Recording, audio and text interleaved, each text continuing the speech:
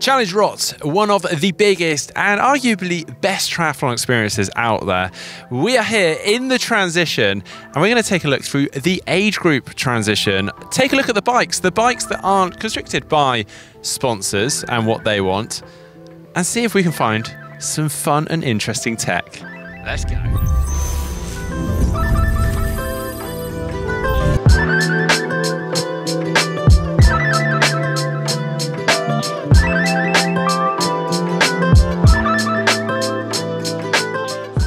This. So this is some subtle frame customization from L. Grangin. Sorry if I've said that wrong. Uh, they're from Germany, and they have got some vinyl cutout uh, stuck to their frame. So on this side, we've got a nod to Kona, and also with a little. Uh, Hawaiian kind of turtle uh, design on this side. They've also got a sort of like profile of the city they're from, presumably in Germany. I haven't quite worked out where it is. Uh, it's probably really obvious. Um, and also coordinates, presumably also from where they live. So I like it. Good work. Well, I guess that's one way to customize your helmet. Grab a Sharpie, do it yourself, or spray paint it to match your bike. Or you can, of course, just slap stickers on it. Okay, so we've got a cool 3D printed storage system on this bike, uh, potentially homemade, whether we bought it or not. But uh, yeah, so they've just filled in this void behind what would be the Elite CX Crono Aero bottle and then their little storage unit. Okay, they've had to use tape to hold the lid on, but good job. Well, this one caught my eye. Uh, a Red Bull helmet. Now, traditionally, these are only handed out to Red Bull pro athletes, and you are not, as a Red Bull athlete, allowed to hand those hats or helmets or anything like that onto any old punter. 789 is Michael Weiss, not, I've checked, the Michael Weiss pro triathlete. So yeah, I'll throw it out to you guys. Do you know of a Michael Weiss ex pro triathlete, maybe from back in the day? But yeah, pretty cool. A little shout out here because as I wander around, I'm seeing a lot of these. This is a little storage unit behind the bottle, based on the down tube and between the seat tube, um, and fit just behind the bottle. These are 3D printed, and specifically, I'm seeing a lot of these by Radsport. These are made specifically for certain bikes. So, as you can see, this one is the Canyon CFS model but I've seen the BMC models, various others. So yeah, well done, Radsport. Now with the gravel and road touring world expanding massively over the recent years, we're obviously seeing more and more bags made for bikes. And this is an ingenious idea. Someone's just using one for a triathlon. I mean, it makes sense. So they're using a top tube storage bag. So you've got spares and food, etc., in there. But it's a really sleek design. Probably not something we're going to see the pros using, but hey, good idea.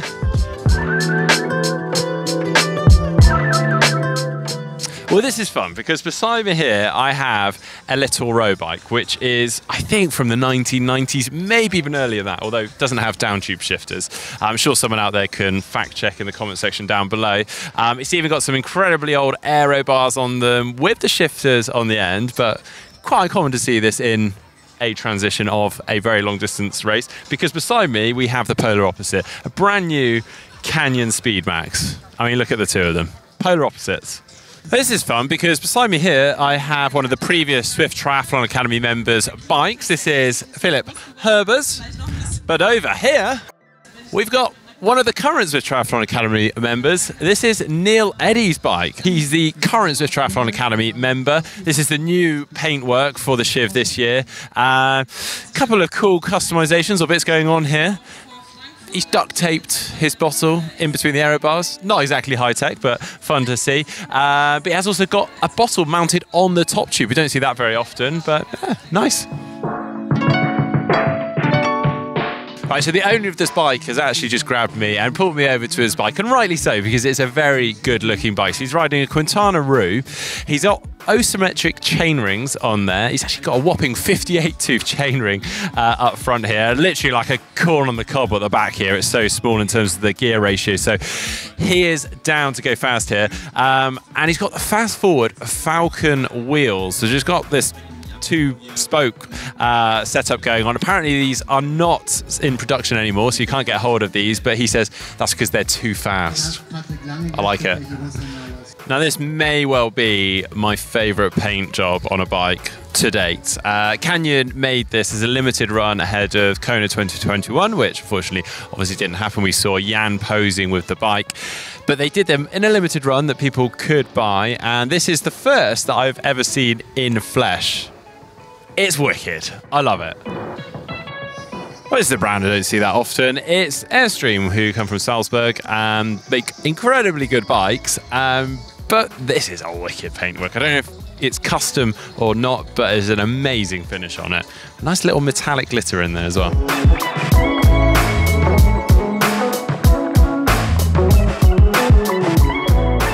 This is cool. So this is the Zipp Super 9 disc, um, but obviously very bright white, and that's because they did it in a limited number of colorways for their 30th anniversary. I believe they did it in four different colorways.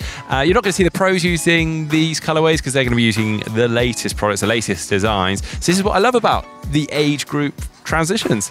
So this is pretty special. I've seen a couple of these actually in the transition. This is the Isaac Eretic bike. I believe these are from the early 2000s. I actually don't know a ton about them. There's not a ton actually out there online about these. It looks like a monocoque design frame, but I may be wrong.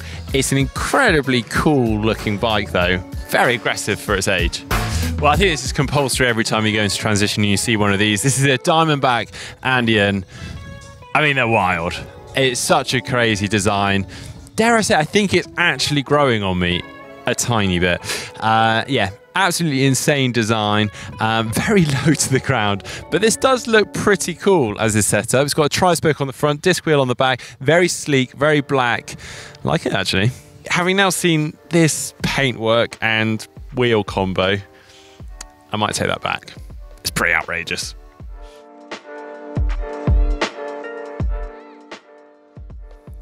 Wow, get a load of this. So this is a very modern S-Works Shiv tri-bike with almost a quite antique look and feel to it. Uh, I'm not sure quite what the design is. It almost looks like a Chinese plate uh, that maybe my nan might have had. Uh, but no, it is genu genuinely really cool. Uh, on the front here, on their tri-spoke wheel, they've actually got a vinyl in the same design, and presumably here on the frame, it is actually been painted, so sent off to a paint shop, and then again, vinyl on the disc wheel. And they've even gone to the extent of doing the helmet too. Get a load of this lightweight disc wheel. Now you don't see them in this colorway anymore. This is a very old setup, tubular. Um, they were pretty much the fastest and lightest disc wheel of their time many years ago. Um, but yeah, still look really cool, don't they? Right, so here we've got two bikes with standard sort of deep section wheels on, but they've converted them into disc wheels. And no, they haven't done my DIY disc wheel, which you can check out if you like.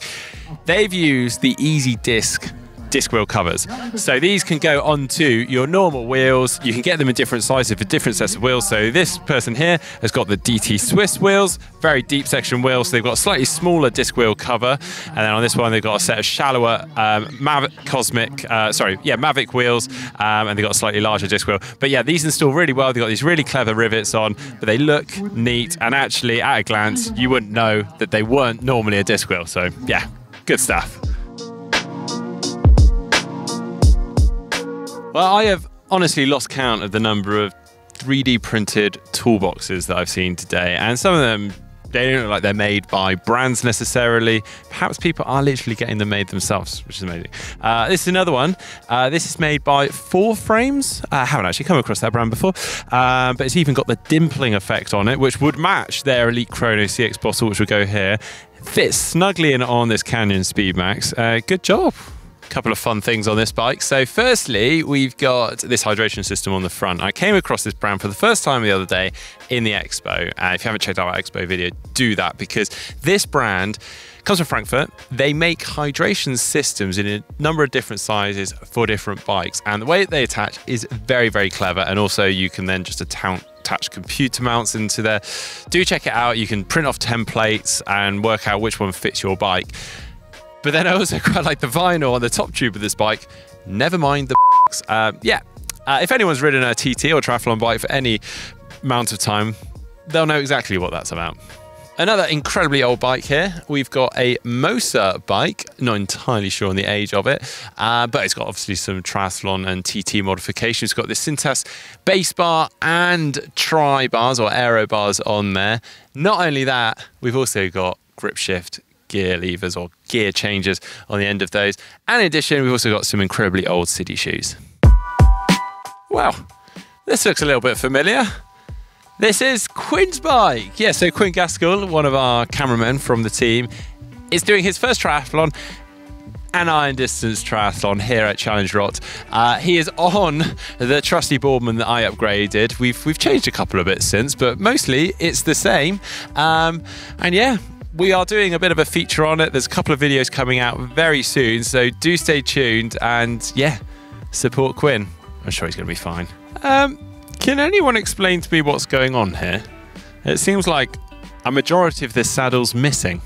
Um, I understand kind of the concept, but if you were to go over a bump and fall forwards, or maybe they're going to add some more tomorrow. I'm hoping they're going to add some more tomorrow morning.